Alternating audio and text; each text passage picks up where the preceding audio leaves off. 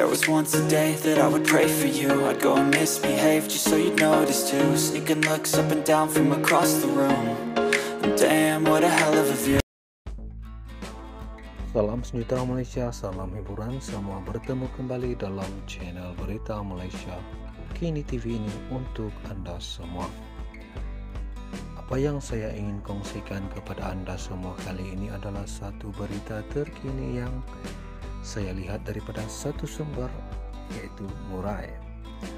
Hari ini kita dikejutkan dengan satu pendedahan daripada Zid Zaidi berkaitan dengan pendedahan wajah penyerang Kamal Adli di Singapura tempoh hari. Dan dia juga berkata, semoga keadilan dan hukuman yang setimpal akan dikenakan ke atas pelaku. Insiden yang berlaku pada pelakon Kamal Adli yang telah diserang seorang individu lelaki tidak dikenali sehingga mengalami kecederaan teruk di bagian kepala mendapat reaksi daripada pelbagai pihak termasuklah Presiden Persatuan Seniman Malaysia seniman Zaid Zaidi yang turut bersuara terhadap insiden yang berlaku. Orang yang pukul Kamal tu aku rasa dia terlibat dengan dada. Menurut Zaid Zaidi, insiden berkenaan tidak seharusnya berlaku di dalam negara yang paling selamat di dunia. Tambahnya lagi Presiden seniman ini turut mendapat laku yang menyerang Kamal Adli berkemungkinan beredah di bawah pengaruh dada. Mengenai Kamal Adli, kena pukul di luar negara dalam satu program expo, aku punya pandangan benda tu tak sepatutnya berlaku. Sepatutnya pihak penganjur kena tingkatkan lagi keselamatan supaya perkara ini tidak berulang lagi. Ini baru cedera parah tau, belum lagi kau ada kehilangan nyawa berlaku disebabkan perkara macam ni. Orang yang pukul Kamal tu aku rasa dia terlibat dengan dadak kata Zid Zaidi. Dalam hantaran yang berbeda, Presiden uh, seniman itu turut memuat naik video yang memaparkan wajah seorang individu yang dakwa menyerang Kamal Adli di sebuah expo yang berlangsung di Singapura baru-baru ini. Dia mengucapkan tahniah orang-orang Singapura dan wakil-wakil Malaysia yang berjaya bedok memat yang pukul Kamal Adli ini. Semua keadilan dan hukuman yang setimpal dan keras perlu diambil kata Zaidi. Semoga si pelaku mendapat hukuman yang setimpal kata beliau. Nah, tuan-tuan dan puan-puan semua demikian saja perkongsian berita ini yang saya dapat kongsikan kepada Anda semua. Jangan lupa like, share, komen, dan subscribe channel ini. Semoga kita berjumpa lagi dalam perkongsian berita selanjutnya dan akhir sekali sebagai tanda penghargaan kepada subscriber channel ini yang sangat luar biasa.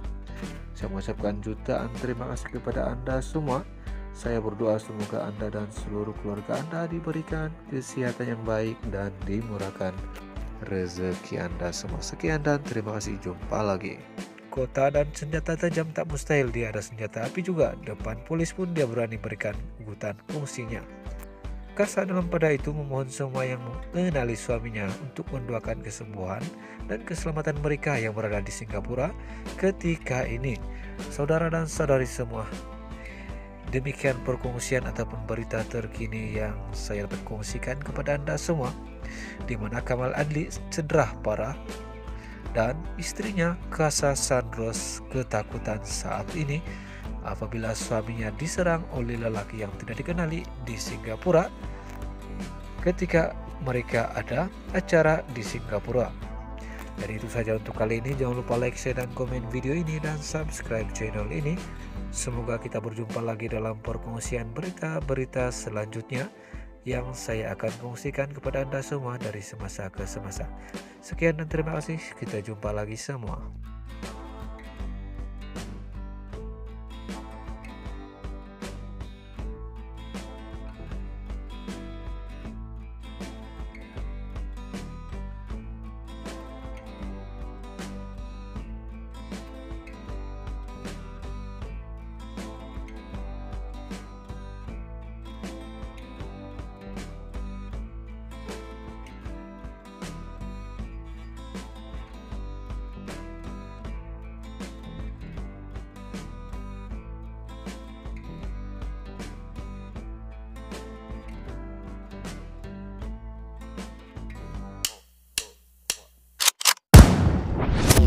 we are